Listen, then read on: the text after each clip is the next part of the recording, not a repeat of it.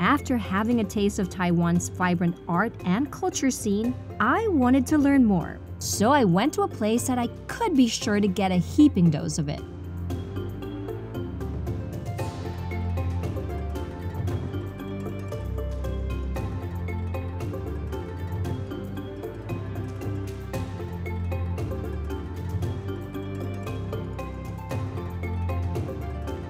One way to get a taste of Taiwanese culture is to immerse ourselves in Taiwanese art.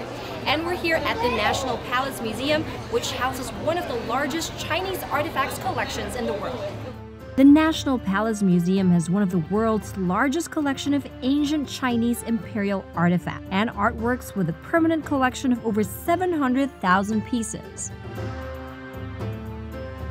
One day isn't nearly enough to walk through its halls and properly appreciate the centuries of history housed within the museum walls.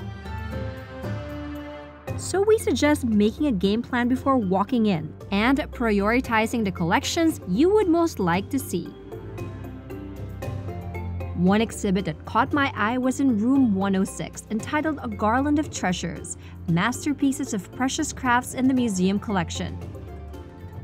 Here's where you'll see just how intricate and detailed early Chinese craftsmanship was. Artists endowed with the ability to make even the most mundane of objects look like fine works of art.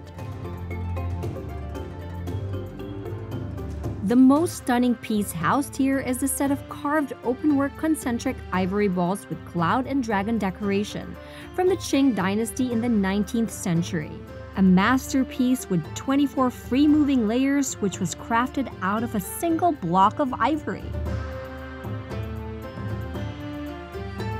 Arguably, two most important pieces in the museum, and the most popular, as evidenced by the long lines, can be found in room 302. The meat shaped stone, banded jasper shaped like a succulent piece of braised pork belly. And this jadeite cabbage, a carving of a bok choy cabbage where the artist followed the natural colors of the jadeite to turn the green parts into the leafy area and the white part into its stem. This lifelike sculpture is complemented by the katydid and the locust perched atop the leaves.